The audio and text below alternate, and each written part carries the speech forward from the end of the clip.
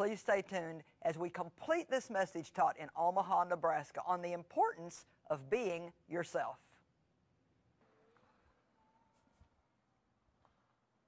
Some of you tonight just need to give yourself a big hug and you need to say, This is it. I'm drawing the line in the sand. I am what I am. This is what it is, and I'm going to like it and see what I can do with it in Jesus' name.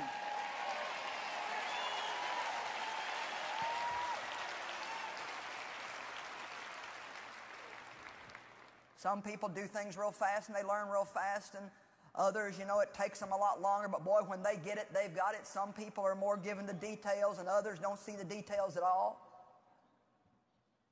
You know, I'm always thinking and meditating and preaching in my head, and, and we'll be driving down the road, and Dave will say, Oh, you know, look at, I don't know, whatever, you know, a cat in a tree or whatever, and, you know, I'm like, he always laughs because he's like, we're, we're a mile past it, and I'm finally, it's sinking in, and I'm going,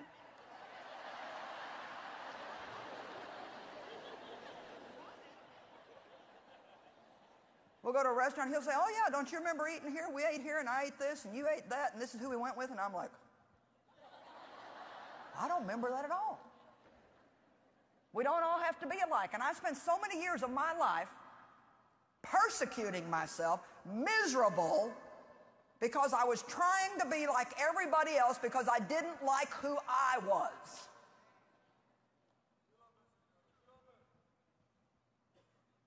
How many of you suffer with this too? Man, I tried to be like Dave. He's so calm and level and nothing bothers him. Dave has one answer to everything cast your care. And here's his other favorite line We'll see.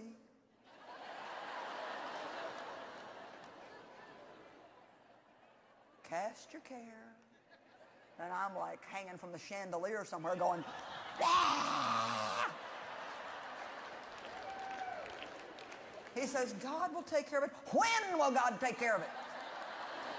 How will God take care of it? I want to sit around and philosophize and try to figure it out and reason it out. And of course, you know, God's delivered me from a lot of that stuff. But I mean, I actually got mad at him because he was peaceful.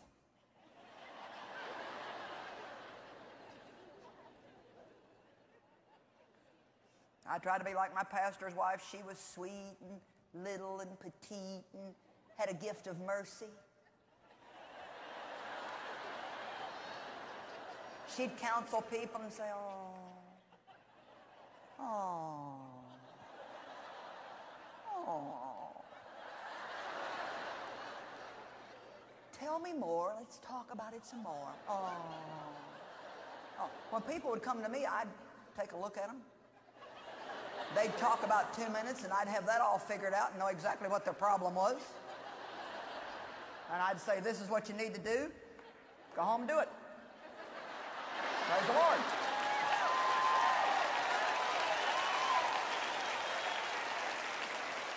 Because I'm one of these people. I mean, I'm not mean, but I just cut right to the. That's why I preach the way I do. I don't dance around it and play games with it. I've got a certain amount of time to get some truth through to you, and I don't have time to dress it up. Hallelujah. It is what it is. You can't make truth anything other than what it is. You know, but then I thought, well, I'm mean and I'm rude and I'm crude. But you know what I find? If I, this is the way God made me. Now, that doesn't mean I can't improve. That doesn't mean that we don't need to develop the fruit of the Spirit. You know, God puts people around us as examples. I kind of chuckle sometimes because it seems like all the years I've been in ministry, I've always had somebody in my life that I was close to that was really nice.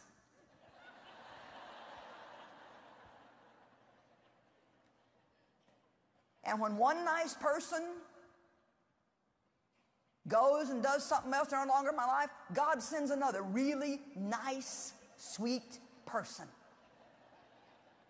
I have a new girl traveling with me now, somebody I've known for 20 years, and she's not here this weekend, but she is so nice.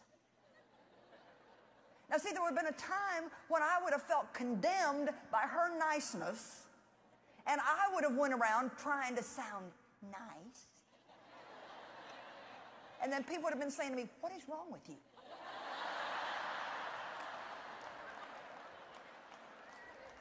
but what does happen is having those people around me, they don't condemn me anymore, but they remind me to be a little softer and a little sweeter. And you know what? A lot of the people that God has put in your life, He hasn't put them there for you to compare yourself with them. They have things that you could benefit from. You may never be quite as good at it as they are, but it will remind you to just stay balanced.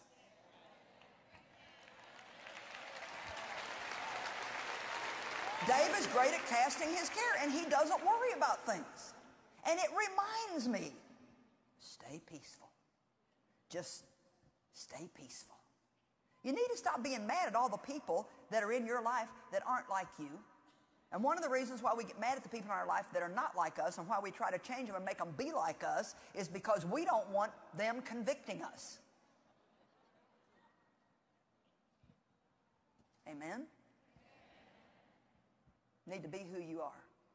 Well, I tried to be like my pastor's wife, and I tried to be like my next door neighbor. She was Miss Arts and Crafts, and I mean, she mowed the lawn. I couldn't even start the stupid lawnmower. She had a garden. She grew tomatoes. She canned tomatoes. She sewed all of her family's clothes. She macrameed her own plant hangers. She wallpapered. She painted. And I just wanted to cast out a devil. You know, it's just, hallelujah. But you know what? Until you know that you can't be like somebody else, you will never be king. David could have never been king had he not known that he could not be somebody else. If he would have went out there and tried to fight Goliath with Saul's armor on, he would have got his pants beat off and he would have never been king. And you know what? I think a lot of you and a lot of people watching by TV, you may be missing your destiny because you're so busy trying to be something other than what you are. You feel like you're not acceptable because you look around at other people or people have said things to you that have hurt you and you believe what they say. You need to believe what God says about you, not what people say about you. And I will show you what God says about you. Go to Psalm 139. Now, you understand this doesn't mean that we don't need to change. I'm not talking about needing to change. We all need to change. We all need to receive correction, and we all need to keep growing. And, and from glory to glory to glory, God changes us. We can work with God and see some of our behavior change, but the basic person that God has created us to be, that is what we are, and we're going to have to learn how to be the best we can be. Psalm 139 is so good. How many of you want to know what's under here? I might tell you in a minute.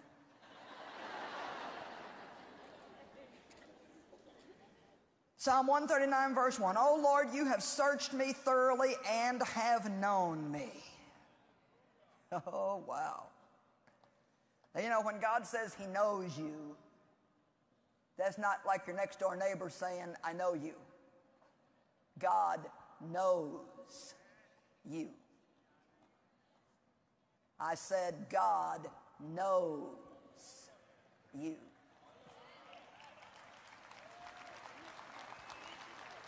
You know my down sitting and my uprising. You understand my thoughts before I ever think them. You sift and search out my path and my lying down, and you are acquainted with all of my ways. Like I always say, God knows what you're going to do. Before you ever do it, you're no surprise to God. You know, God didn't call me into ministry and then three days later turn to Jesus and the Holy Ghost and say, oh man, did we ever make a mistake? and that's why we act sometimes, you know, like God gets up and goes, oh man. God knew every mistake you were ever going to make before he ever called you into relationship with himself. You're the one that has a problem with it. There's no pit so deep that his arm is so short he can't reach down in there and get you out. The blood of Jesus covers everything or it covers nothing. Amen? Hallelujah. There's not a word in my mouth still unuttered, but behold, Lord, you know it all together. God already knows everything you're going to say, everything you're going to do, every decision you're going to make. Verse 13. For you did form my inward parts. You did knit me together in my mother's womb. I will confess and praise you, for you are fearful and wonderful, and for the awful wonder of my birth. Now, watch this. I never noticed this till about three months ago.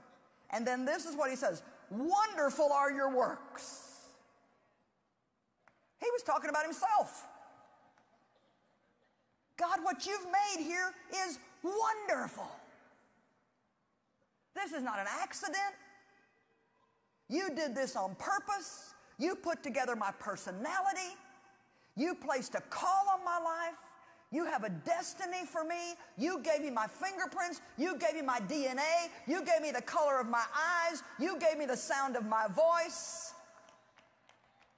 You gave me curly hair or straight hair. You gave me blonde hair or black hair or brown hair or red hair. You, God, did with your own hand on purpose knit me together in my mother's womb. Wonderful are your works.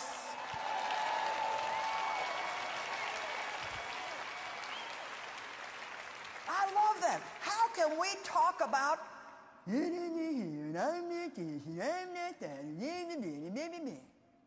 David made mistakes, and yet here he is saying, You put me together, God. Wonderful are your works.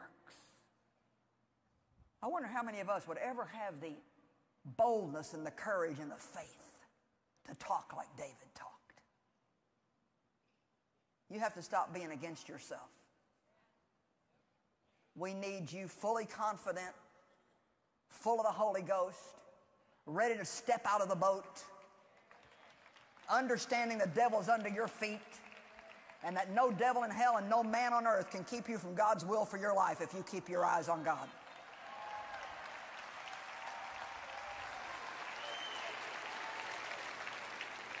We get too wrought up about people and what they think and what they don't think and what they say and what they don't say and how they look at us and don't look at us. If you're going to let what people think rule you, you will never be king in your realm.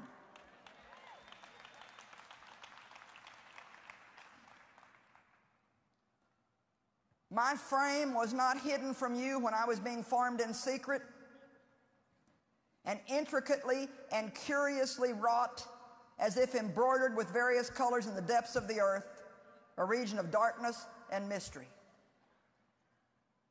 Your eyes saw my unformed substance, and in your book all the days of my life were written before ever they took shape, when as yet there was none of them. How precious and weighty are your thoughts toward me.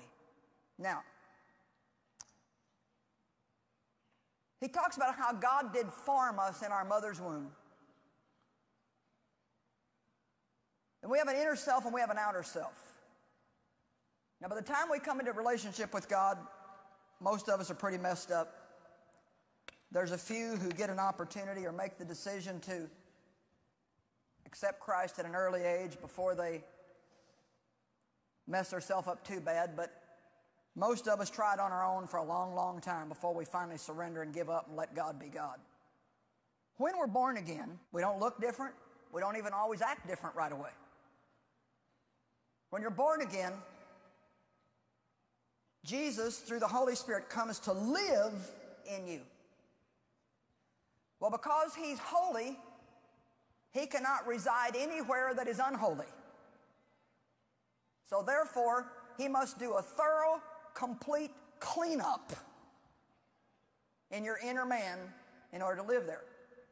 That's why when He appeared to Moses at the burning bush, He told Moses, Take the shoes from off thy feet for the ground on which you stand is holy ground. Why did Moses have to take his shoes off? Because nothing of earth, nothing earthly, nothing fleshly, nothing man made could mix with the holiness of God. So, whether you understand it or not, whether it makes any sense or not, you are holy if you're born again. You may not behave holy all the time, but God says you're holy. You may not act right all the time, but He says you've been made right. We may not always walk in the fruit of the Spirit, but Galatians 5 says if the Spirit is in us, then the fruit of the Spirit is in us. I have love, joy, peace, patience, goodness, kindness, meekness, gentleness, humility, and self control. Every good thing that you will ever need to be the person God wants you to be is in you right now as a born again believer in the form of a seed.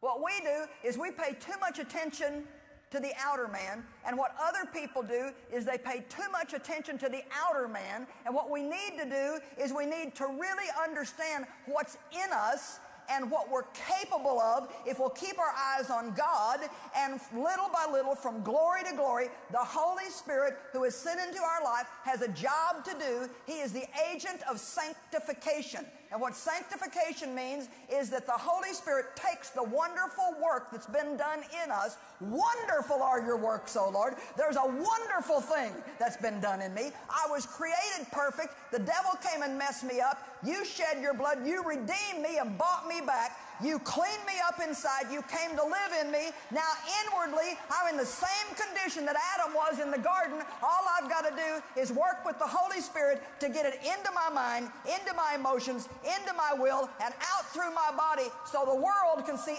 outwardly what you've done inwardly.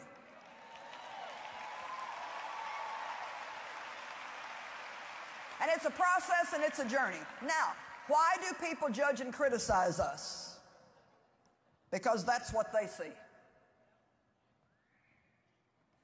Sure isn't anything I'd want there. That's a pretty ugly thing, isn't it? Yuck. I actually brought that here from my home. I keep that in my home.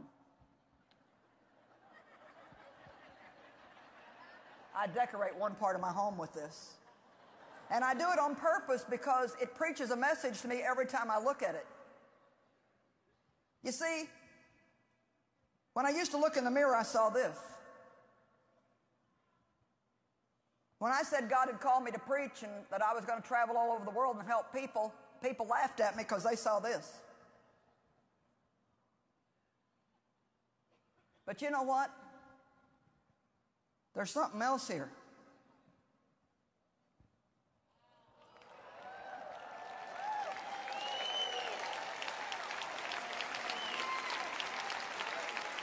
Come on now. Come on now. This is what God created. This is what the devil did. But you know what? All of this can eventually be chipped away, and this is what can be showing. We've just got to get what's in us work to the outside of us. Now, listen. I've always wondered about these things. They're called geodes. And I'm just like, God, why in the world did you hide something that magnificent in that? Why is gold buried in hills and mountains? Why are diamonds buried in mountains? Why do you have to dig for the stuff? Why isn't it just laying around everywhere so we can just go get it? You know, there's something about God, He hides the good stuff. And you got to be willing to dig and dig and dig and dig and go deeper and deeper and deeper and deeper. Even oil, you got to drill for oil. You got to drill for water. I want to know why aren't all those things just laying around and convenient to get? Next time somebody judges you, you say, You don't have one idea what's going on inside me. You don't have any idea about my heart. How dare we judge people when we don't know their heart? I believe that we do need to, to judge sin, and I believe things need to be done right in the church. You know, Paul corrected the church because they were letting all kinds of stupid stuff go on and they weren't dealing with it. But there's a difference in judging and bringing restoration and being judgmental. Amen? And I'll tell you what, we have to get to the point like Paul did, where he said, You know what? Frankly, I don't care what you think of me. I don't even sit in judgment on myself. God is my judge. And there's another place where Paul said, From now on, let no man trouble me because I bear in my body the marks of the Lord Jesus Christ. You've got to get over being overwrought about what you're not and what people think and what you can't do and what gifts you don't have. And all you need to do is let the Holy Ghost work with you. And you need to dig in the Word. And you need to dig. And you need to dig in prayer. And you need to dig some more in the Word. And you need to dig some more in prayer. And then pretty soon there's going to start to be a turning in your life. And a turning. And a turning. And a turning. And a turning. And a turning. And a turning. And a turning.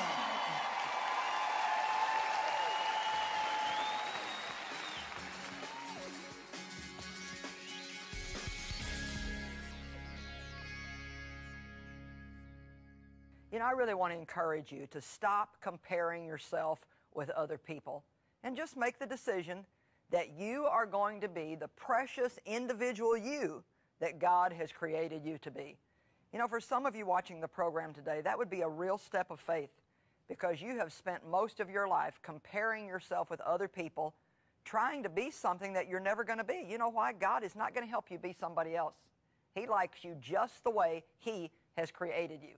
And obviously, we all need changes in our life. We all need to improve. But you know what? You can enjoy yourself where you're at on the way to where you're going. I want to offer today my new book, The Confident Woman. And boy, am I excited about this book. I mean, I think this is going to help millions of women worldwide to be the woman that God has intended them to be. I believe it's going to help you step out boldly, overcome fears in your life, and just really be the best you that you can be. Get this information down. Make sure you get your copy today, and then stay with me because I want to share something with you at the end of the program.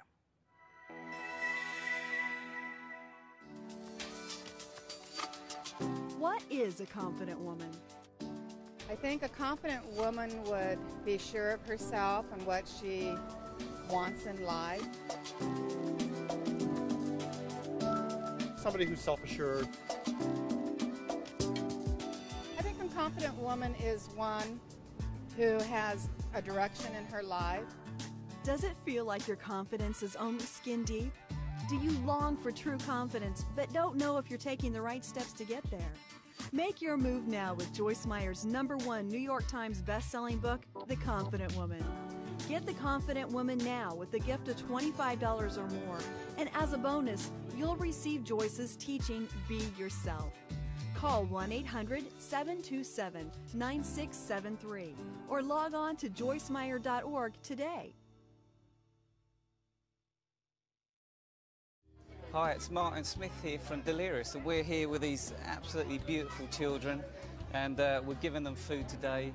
It's been an amazing privilege to be here with Joyce Meyer Ministries. You know, look around, you see what's happening, amazing stuff. You too can partner. I mean, if you're out there and you're watching and, and you've got $10, $15, send it in because every little thing helps. If you want to make a difference, call the number that's coming up on the screen. You can visit the website also. It's joycemeyer.org and you can find out how to help. This, this is amazing what's happening here, and as Delirious have been able to partner, it's been fantastic. Cheers. With your missions donation today of $25 or more, we'll send you this hardcover devotional, New Day, New You, and the Delirious CD, Mission Bell, just to say thanks. With a gift of $100 or more, you'll receive the CD and the leather cover version of the devotional.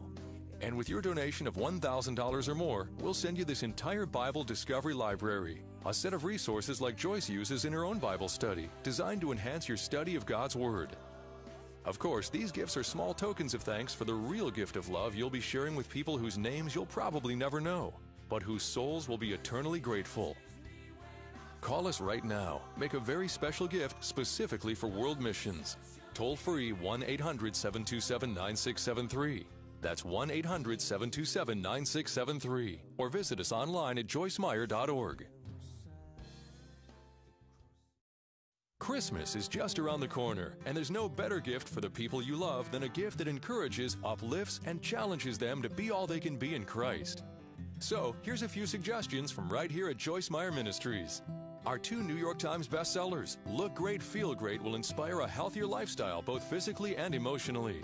And The Confident Woman encourages women of all ages to rise to greatness in every area of their life. Check out the Everyday Life Bible. It's the very first study Bible developed from the Amplified Version, and it's filled with day to day relevance inspired by Joyce's past experiences. It'll help you see how the Bible still relates to your life today. Joyce's all time bestseller, The Battlefield of the Mind. It's still touching lives, and now there's the complete Battlefield of the Mind package with something for everyone you love. Of course, we also offer daily encouragement through our collection of coffee mugs, tote bags, and uplifting worship music. Don't procrastinate. You can take a chunk out of your Christmas shopping list today. Visit us online at joycemeyer.org or call right now toll free 1 800 727 9673.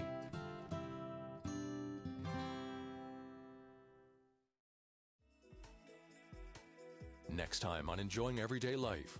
When she discovered she was unable to have children, Claudine's lifelong confidence was shaken. I wouldn't look at myself anymore.